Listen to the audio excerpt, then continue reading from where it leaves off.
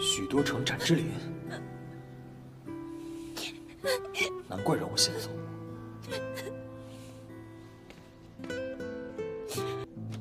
真的不打算告诉家里人吗？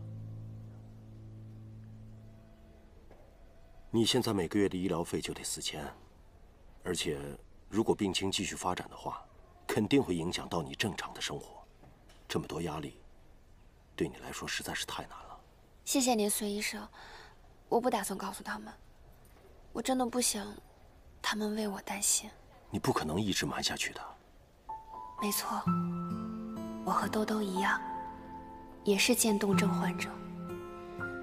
兜兜所经受的病痛折磨，用不了多久，我也一样会面对。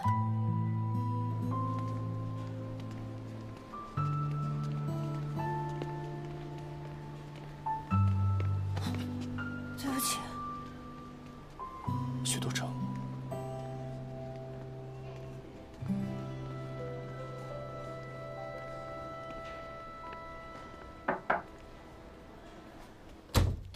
孙医生，这么日理万机呢？展总现在这派头是越来越大了啊！这回又给我们带什么高端器材了？设备肯定是最高端、最先进的。你们要是不采购个十台八台的，凭咱俩的关系，这就说不过去了。怎么着？你们家老爷子给你下放到基层，还给你下销售任务了啊？你懂我。哎，对了，隋医生啊，刚刚出去那个女孩，也是你的病人？对。什么意思啊？啊？我跟你说，别打坏主意啊！我就随便问问。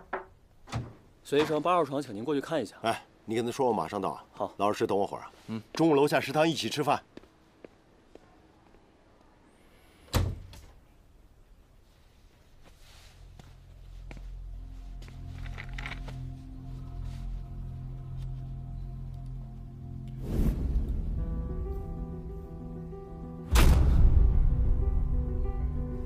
许多城，建东城。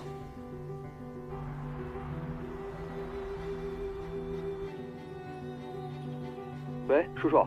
哎，那个江南，程程跟你在一起吗？叔叔，没有啊，他还没回家吗？没有啊，这手机也打不通。这孩子现在越来越不让人省心了。叔叔，您别着急，我们下午在医院看望程程的一个朋友，估计还在医院耽误回家了。我现在就回医院去看看，您别担心啊。啊，好好好，那你费心啊。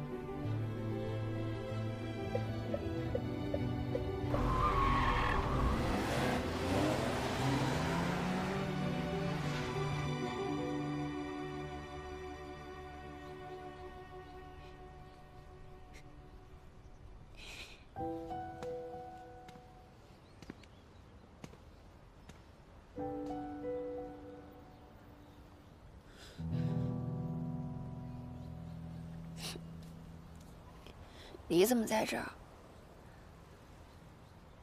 我正好来医院办事，看到你从隋大夫那里出来。哦，我认识的一个小朋友他生病了，我去找隋医生问问他的情况。可我看到上面写的是许多成。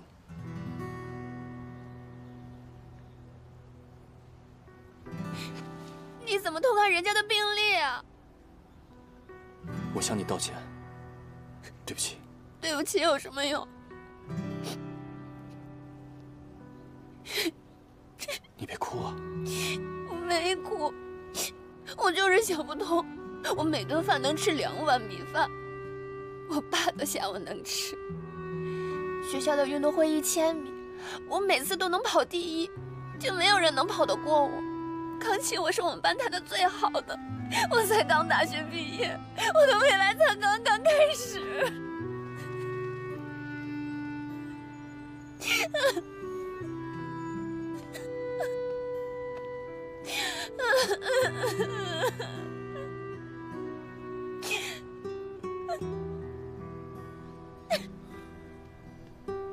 许多城展之林，难怪让我线索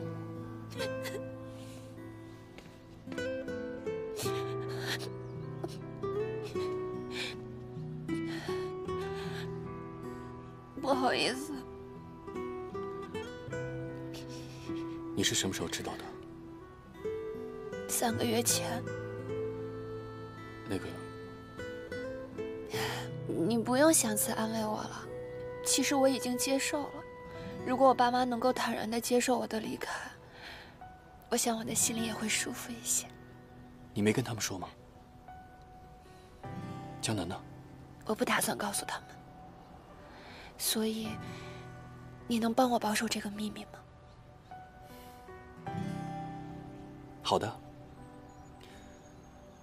我替你保守秘密是有条件的。跟我来吧。什么意思啊？我饿了，一起吃饭吧。周姐，哦，周五，好嘞，周五。然后这样，具体时间啊，您到时候再告诉我，好吧？哎，好嘞，哎，再见。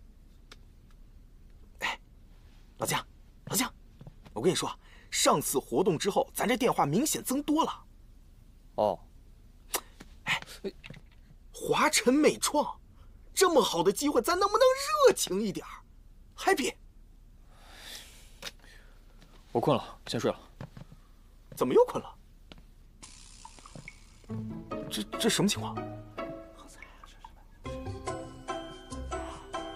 咱家铁树要开花了是吗？嗯。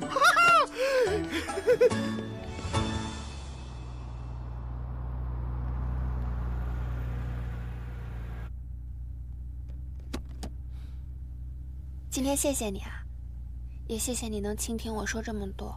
这件事情已经闷在我心里好久了，现在终于说出来了，我感觉舒服多了。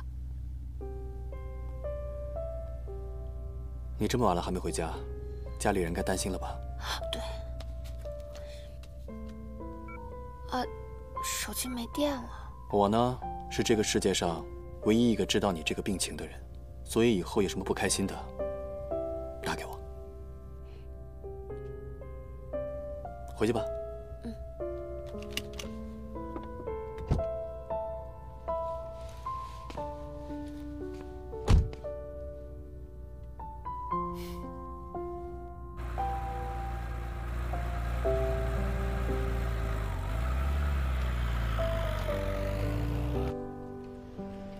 爸妈，我回来了。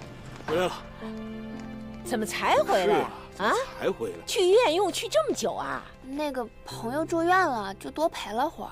你最近怎么回事啊？电话也不接，微信也不回，你想干嘛？我手机没电了。手机没电了，行了，回来就行了，赶紧进去休息去。那爸妈，我先去洗澡了。这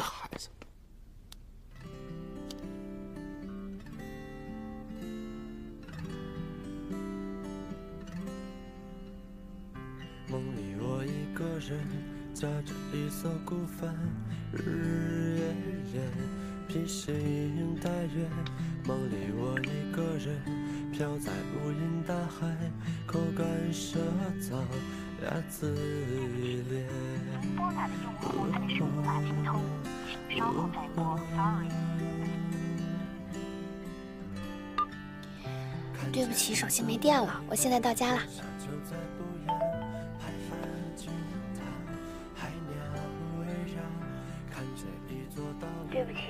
变，了，我现在到家了。